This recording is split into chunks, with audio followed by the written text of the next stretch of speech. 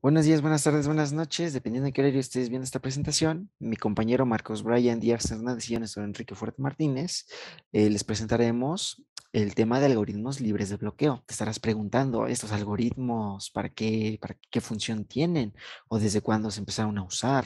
Bueno, estos algoritmos este, se empezaron a implementar desde 1990 eh, con los procesadores IBM 370. Entonces, y, lo que les, y los que le seguía, o sea, ya era de ahí para adelante, se empezaron a usar este tipo de, de, algoritmos. Aquí podemos ver en la figura número uno, pues uno de estos procesadores de antes, es muy hermoso. Bueno, y se usaban este, este tipo de algoritmos de forma nativa, trabajando con este tipo de procesadores se usaba para este tipo de sistemas, que este era el IBM 370 de ese año, así es como lucía, y se usaba más que nada para poder mejorar el rendimiento de, de este tipo de sistemas, para que su procesador tuviera mejor rendimiento, para que las operaciones que el usuario le, le, le hiciera fueran mejor, más fáciles. Entonces empezaron a usar principalmente para esto. Ya después, desde el año 2013, se empezaron a usar más arquitecturas todavía, como se empezó a usar en más arquitecturas, su popularidad empezó a incrementar este tipo de algoritmos tanto así que se empezó a usar más también en estructura de datos, este tipo, estos algoritmos libres de bloqueo. Bueno, sí, son muy importantes, tienen mucha antigüedad, pero ¿cómo funcionan? Bueno, para decirte cómo funcionan, primero debemos saber cuáles son los algoritmos eh, con bloqueo, que como ya lo vimos en clase, eh, nada más un pequeño repaso, es que son muchos procesos que intentan este, entrar al, o intentan ejecutarse al mismo tiempo y pues no pueden, entonces se bloquean. Eh, estos procesos están esperando, un, eh, cada proceso va agarrando recursos de, de, nuestro procesador, entonces pues ya como que nuestro procesador se divide en todos estos hilos, entonces cada hilo necesita recursos para poder ejecutarse, para poder ejecutar la acción que, que necesita nuestro sistema. Entonces, eh, estos, estos hilos están esperando eh, un evento en específico para que puedan entrar a realizar su, su, ejecución, pero el puntito es que este evento nunca va a ocurrir. Entonces, nunca se van a ejecutar estos hilos, provocando que nunca liberen o nunca suelten esos recursos que pidieron a, a nuestro procesador. Entonces, si otro, otro hilo necesita que un hilo libere esos recursos que, que, pidió para poderse ejecutar, pues nunca lo va a hacer porque pues nunca se va a ejecutar el primer hilo, entonces se van a bloquear. Te estarás preguntando cómo, entonces, cómo estos algoritmos liberan o se deshacen de este tipo de bloqueos. Bueno, eh, para poderse este, liberar este tipo de bloqueos se necesita eh, instrucciones este, atómicas eh, primitivas eh, que nos ayudan pues a poder liberar o a poder este, sincronizar este tipo de hilos para que ahora sí pues ya no se bloqueen y ahora sí tengan un tiempo definido para que se ejecuten. Entonces, este tipo de, este tipo de instrucciones primitivas se les llama lectura, modificación, escritura. Eh, dentro de estas hay tres que nos ayudan para, para poder hacer este tipo de algoritmos, las cuales son test and set, fetch and add y compare and swap. Esta última es la más utilizada en este, cuando hablamos de este tipo de algoritmos y, y es como que la que nos da mejor rendimiento, la que es un poco más fácil de implementar. El principal uso que tenemos para este tipo de algoritmos es que nuestra, de por sí ya tenemos este, instrucciones primitivas, las cuales son mutex, semáforos, barreras, eh, torniquetes, que nos ayudan a, sincronizar este tipo de hilos, este, eh, multiprocesos, nos ayuda a sincronizarlos, pero ¿qué pasa? Nos consume tiempo de ejecución. Entonces, nuestro principal uso que tenemos con este tipo de algoritmos, este tipo de instrucciones, es poder utilizar lo que hace este mutex, estos semáforos, usarlos pero sin que nos consuma mm, pues mucho tiempo. Entonces así podemos ir este, optimizando el tiempo de nuestro sistema y poder sincronizar este, los hilos, los multiprocesos que necesitemos. Entonces ya con esto nos da un poco de seguridad, un poco de, mm, eh, sí, seguridad a nosotros como programadores, decir, ah, la información que estoy usando con estos hilos está segura y sí se va a usar para que nuestro, el resto de nuestro sistema se corra y se pueda ejecutar y tengamos un buen rendimiento. Entonces, este es el principal uso que tenemos con este tipo de instrucciones. Comenzando ahora con las primitivas libres de bloqueo, como mencionaba mi compañero, pues existe el mute, los semáforos, las barreras. Eventualmente llega un punto donde estas hacen un tipo de ordenamiento y van como ordenando cómo van los, los hilos. Pero también es importante saber o encontrar el otro modo de poder ordenarlos o buscar la forma de que se comuniquen incluso. Entonces, para esto tenemos las primitivas que son alquar y release, que estas dos primitivas nos permiten obtener información con respecto al orden de ejecución de estos hilos. Y bueno, aquí tenemos un ejemplo bastante sencillito. Eh, tenemos dos hilos, un hilo A y un hilo B, que en este caso pues es hilo 1 y, e hilo 2. Y pues aquí podemos ver cómo el hilo 1 hace una asignación, después hace un release, envía un mensaje e indica pues el valor que ha modificado, bueno, que ha asignado. Y ya el hilo 2 pues hace la asignación hacia datum, eh, hace el alquar del mensaje y ya verifica el valor de dato con, imprimiéndolo. Aquí es importante ver los detalles de esta pequeña implementación de este ejemplo y es ver que el hilo 1 primero tuvo que haberse ejecutado para hacer release y el hilo 2 tuvo que haberse ejecutado posteriormente para hacer el actuar y obtener el mensaje. Aquí hay también algo que se puede ver y es que, por ejemplo, el hilo 2 pudo haberse estado ejecutando y ya cuando el, hilo 1 le dijo, oye, pues ya tengo esto y agarró el, e hizo el actuar el hilo 2, pues ya comenzó a, pues, a procesar la información que tenía que procesar hasta que el hilo 1 le indicara.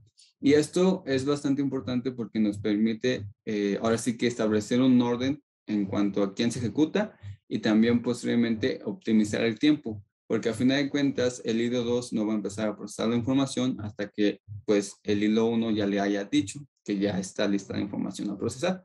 Y bueno, aquí ya tenemos el orden de ejecución, que es eh, como les mencionaba, que hace la asignación, pues aquí ya le envía el mensaje y ya le dice al hilo 2, pues oye, que hace el alcuar, hace el alcuar, ya tienes el dato, y pues se ve el orden de la ejecución aquí pues en este ejemplito. Y pues aquí tenemos el Decker's Algorithm que está bastante interesante y aquí ya vemos dos procesos. Y pues bueno, vamos viendo aquí ahora sí una implementación de un algoritmo libre de bloqueo, que es uno de los primeros algoritmos que ahora sí que maneja la exclusión mutua a un punto de eliminarla, pero pues no es una exclusión mutua perfecta. O sea, no hay tiempo ahí que se va a tener que esperar alguno de los procesos para que el otro pueda entrar a esa sección. Y bueno, el algoritmo describe cuando dos procesos quieren entrar a una sección crítica de información y pues obviamente no pueden entrar al mismo tiempo porque si no habría esa exclusión mutua. Entonces, ¿qué se hace? Pues se hace un medio de validación para saber cuál de los dos va a entrar y ya en base a eso, pues saber cuál espera, cuál entra y ya cuando termine que entró, pues ahora sí entra el otro. Y pues bueno, aquí para esto se tienen dos banderas, se tiene un arreglo para esos dos procesos, que es un arreglo de booleanos que indica el estado de que si quiere entrar o no quiere entrar, y se tiene un entero que indica el turno. Y pues antes de que vayan a entrar a esta sección crítica, pues se pone que no quieren entrar, se pone como un falso, porque pues, si no quieren entrar, pues ¿para qué decir que sí? Entonces se inicia con un falso y se indica el turno en base a cómo quieran entrar. Ya cuando tenemos en este caso, los dos procesos podemos ver cómo es la programación de lo que nosotros buscamos, que es elegir cuál de los dos va a entrar a la sección. Ahora sí, ya cuando quieren entrar, pues ahora sí, el proceso 0 y el proceso 1 le dice, pues los dos queremos entrar, ¿cuál de los dos va a elegir? Y aquí es donde el turno es el que toma así como que la batuta y le dice cuál entra y cuál no. Entonces los dos entran al while porque verifican el estado del otro proceso, el 0 verifica el del 1 y el 1 el del 0. Entonces entran los dos. Entonces, por ejemplo, si fuese el turno del proceso 0, este tendría que eh, seguir iterando sobre el while de tal forma que tendría que, ahora sí que llegar al momento en el cual el proceso no le diga, sabes que yo, yo no voy a entrar porque es tu turno. Entonces, eso es lo que va a pasar. Porque el proceso 1, al hacer la verificación del turno, se va a dar cuenta que no es su turno porque el turno va a estar en cero y entonces va a entrar a, hacer que su intención de entrar sea igual a falso. Entonces, y después se va a dormir. O va a esperar ahí mientras el proceso cero se va ejecutando. Y ahí es lo que va a pasar. El while va a verificar que el false ya no quiere, o sea, que ya no quiere entrar, sale del while, entra a la sección crítica hace lo que tengo que hacer, el turno ya lo incrementa para que sea el turno del siguiente y o pone para que sea el turno del proceso 1 y ya dice, pues yo ya no entré, yo ya entré, pues ya, ya no quiero entrar de nuevo. Y ahora sí, el proceso uno sale de ese while, entra a la sección y se cambia el turno, y pues ya, ya indica que ya no quiere entrar. Entonces ahí ya terminaría la ejecución para ambos procesos. Eh, pasamos a, a esta, donde nosotros podemos ver, aquí la explicación de lo que les decía, pero también existe eh, algo bastante curioso con respecto a este algoritmo, que es únicamente para los procesos. Eventualmente, pues un sistema no funciona con dos procesos, funciona con más de dos procesos y pues es necesario una generalización, algo más rápido incluso, porque pues aquí pone a dormir a uno de los procesos o lo pone a espera, que es lo que mencionaba. Maneja la exclusión mutua para ese acceso crítico, pero uno de los dos tiene que esperar. Y aquí es lo que buscamos, es que incluso ese momento de espera no sea tan largo, que sea un poquito más rápido, que sea más rápido para compensar la cantidad de procesos que pueden llegar en esta situación, a encontrarse en esta situación. Y por eso vamos a pasar al siguiente algoritmo, que es como el algoritmo que ahora sí nos permite explicar la generalización. Bueno, como ya vimos al inicio, tenemos varias eh, instrucciones para poder realizar este tipo de algoritmos libres de bloqueo. Y una de ellas, y la más usada, la más usada comúnmente en este tipo de algoritmos es compare and swap, comparar y cambiar, eh, que es en abrevia, eh, con la abreviación CAS. Eh, este tipo de instrucción es igual a la de Deckers, solamente que con una ligera ventaja que es este, un poco más fácil de implementar y también este, un poco, un poco más rápida, un poco más rápida que la de Deckers. Pero, ¿cómo se usa? ¿Qué, en, qué, qué consta este tipo de instrucción? Bueno, eh, consta en que nosotros tenemos un algoritmo, o sea, forzosamente debemos tener un algoritmo eh, con multiprocesos para que, este, para que esta instrucción este, podamos utilizarla. Entonces, lo que hacemos es este, sincronizar estos multiprocesos para que no se interrumpan o no se bloqueen. Entonces, los, los vamos este, sincronizando. ¿De qué manera? Bueno, podemos este, irlos actualizando de ya sea con, con variables globales o o booleanos, pero ¿cómo se hace? Entonces, nosotros checamos, cada multiproceso tiene pues una memoria, una ubicación de memoria que utiliza. Entonces, nosotros checamos eh, el contenido que de la memoria en donde está, de donde proviene nuestro hilo, nuestro multiproceso, y la compara con un valor que nosotros le damos, con un valor, pues sí, un valor que le damos y si es que este valor que tiene eh, este hilo es igual al valor eh, que un valor dado que le dimos, entonces entra, entra a poder eh, cambiar o sobreescribir o modificar el contenido que tenemos dentro de esta ubicación de memoria.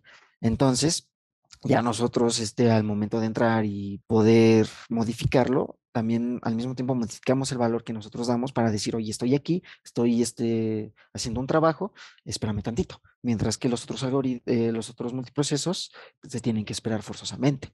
Entonces, esto, todo, todo esto lo hacemos dentro de una operación atómica, la cual nos da este, seguridad o nos da, este, sí, este, nos dice eh, sí nos, nos, da la seguridad de que la información que estamos usando va a estar protegida, de que ningún otro hilo, de ningún otro multiproceso le pueda, lo pueda cambiar. Entonces, si es que, nuestra, eh, y también nos, hace, nos asegura de que estemos actualizando constantemente esta información en base o estemos en base a, a, una informa, a una información que constantemente estamos actualizando con los hilos. Entonces, siempre que vamos a hacer una nueva operación, una nueva ejecución, va a ser siempre con la información actualizada que le estamos otorgando. Entonces, esto, esto si, un, si por ejemplo un hilo ya está dentro y está cambiando todo, cambiamos ese valor de ese valor de una variable. Entonces lo estamos cambiando y otro y otro hilo intenta este, cambiar esa información, como no es el mismo valor que, que ya tenía antes, ese, ese intento de cambiar la información va a fallar y no va a cambiar nada y va a tener que volver a intentar hasta que, que esté usando eh, esa instrucción la termine, la, eh, ya no la use, entonces diga, ah, ya la puedo usar, ya puedo empezar a ejecutar, ejecutarlo y ya el que siga después de mí se va a tener que esperar y, y así lo podemos, y así se, va usando este tipo de instrucción. Eh, como ya habíamos comentado, em, se empezó a usar, eh, llegó tanto la popularidad de este tipo de algoritmos que se empezó a usar en, en estructura de datos, tanto en pilas, en listas, eh, con, con estos algoritmos libres de bloqueos. Bueno, aquí podemos ver una implementación de este algoritmo en C y aquí podemos ver pues les digo, puede ser tanto de un booleano o de o regresar el valor que nosotros propongamos, que es que en este caso regresamos el entero del valor que nosotros mm, ya dimos. Entonces, ¿qué hace este programa? Bueno, en nuestra función cas, lo que hacemos es mandarle la dirección de memoria, eh, mandarle el valor viejo que tenemos y un valor nuevo que queramos, al que queramos actualizar. Entonces, los hilos constantemente van a intentar entrar aquí. Entonces aquí lo que hacemos es el valor de, que tenemos en la memoria lo guardamos y intentamos ver si el valor que tenemos en la memoria es igual al valor que nosotros damos, entonces ese hilo va a poder entrar, va a poder hacer su chamba, va a poder hacer todo lo que necesite dentro de este if y cuando termine pues va a cambiar pues eh, va a cambiar el valor de, de que tenemos dentro de la memoria a uno nuevo. Esto lo que nos, esto lo que nos este, ayuda es que si otro hilo, mientras es, otro hilo intenta entrar mientras esta ya está ocupada, como no va a tener el mismo valor, eh, porque ya se cambió, entonces esa sobreescritura, ese cambio va a fallar y no lo va a permitir. Entonces va a tener que esperar a que el que ya esté usando esta, este, esta instrucción acabe, la suelte ya tenga los valores este, definidos. Entonces ya eh, con el otro hilo, con la información actualizada, eh, del nuevo cambio, de que se le sobrescribió, va a decir, ah, ahora ya, ya estoy yo, puedo entrar, eh, tengo la información actualizada, mira, aquí está, es como un pase, oye, tienes este, tienes este, un pase, ah, sí, mira, aquí está mi pase, tengo la información actualizada, voy a poder entrar a hacer todo lo que quiera, eh, o todo lo que necesite de ejecución para, mm, para nuestro sistema. Entonces ya este, termino, hago como el chequeo, este, actualizo la información para que otro hilo se intenta entrar, pues debe entrar forzosamente con la información que vamos actualizando los demás hilos que estamos detrás. La ventaja es que si garantizamos este, que todos los hilos terminen, puede que un hilo tarde mucho tiempo, pero ya no es que, ya no es que, ay, es que no, no llega este hilo, al igual ya no, ya se bloqueó con otro y ya no va a poder finalizar, no, no, se va a tardar, sí, pero tenemos esa garantía de que va a finalizar, ya sea se tarde mucho, se tarde poco, dependiendo del hilo, que es lo contrario al de bloqueo, que los de bloqueo, una vez se bloquean, ya no, ya no se van a terminar. Y no importa si pasa mucho tiempo o poco, ya no, ya es garantía de que no se terminará y en este, ya sea mucho o poco tiempo, sí, sí, sí podremos ver una finalización de ejecución. Y bueno, aquí tenemos un ejemplo del stack que como se puede ver utiliza el CAS. Eh, como mencionaba la compañera, pues existe el problema que puede incluso, por ejemplo, tenemos dos hilos que van a intentar modificar el stack, van a hacer push, pop, pero en un determinado momento si un hilo llega de repente y se mete entre la ejecución de dos hilos, y modifica, pero los dos hilos que estaban modificando haciendo push y pop, pues no se dan cuenta y se van con la finta de que el valor pues eh, no ha cambiado, que no se ha actualizado, pues este hilo que se metió entre la ejecución de, esto, de los otros dos que estaban modificando, pues va a tener una versión distinta y va a hacer que los otros dos hilos igual tengan una versión distinta. Entonces eso va a generar un problema con respecto a la congruencia de la información y posiblemente pase que otro hilo venga y venga a modificar el, stack y pues se dé cuenta de que la estructura incluso ya no sea congruente, que ya no se puedan insertar los, los valores dentro de la pila. Y eso pues posiblemente nos genera errores dentro de ejecución del programa. Y es algo que es consecuencia de cómo se está implementando porque a final de cuentas tenemos demasiados hilos eh, en la misma información comprobando y actualizando, entonces no es 100% fiable de que pues eh, haya total congruencia entre todos los hilos al momento de modificar. Y ya pues pasamos a las conclusiones que tenemos para nuestra exposición. Y pues como se habrán dado cuenta, no son 100% fiables ni son 100% efectivos porque en un determinado momento sí nos ayudan a evitar que se bloqueen como mencionaba mi compañero Néstor, pues llega un punto en donde se van a tardar, seguramente, sabremos cuándo terminen, pues a lo mejor no, pero lo más seguro es que se van a terminar. Entonces, esto nos hace como tener mayor seguridad con respecto a las operaciones que se están realizando. Eh, también no es 100% seguro porque, como les mencionaba, pues puede haber como una modificación intermedia o que no se actualizó o que no actualizaron todos los siglos y pues ahí haya problemas. Pero eventualmente eso ya es como una consecuencia de, e independientemente nos garantizan un mejor rendimiento en el sistema, ya que pues evitan los bloqueos que mencionamos. Como dijo nuestro compañero Brian, este, si nos, si nos garantiza que vamos a acabar, vamos a tener un tiempo grande, puede que sea mucho tiempo, pero garantizamos ese rendimiento del sistema, que es lo que buscamos precisamente, ya que si se nos bloquea el, el algoritmo, no creo que queramos un, una ejecución a medias. Entonces, si queremos garantizar ese rendimiento en nuestro sistema o para evitar este tipo de bloqueos, pues es, es una opción que tenemos que puede que nos tome un poco de tiempo, tal vez no mucho como otras implementaciones, pero sí vamos a garantizar ese, ese, ese rendimiento de nuestro sistema y que nuestra información que estemos implementando, usando, siempre esté actualizada y esté protegida con estas instrucciones atómicas.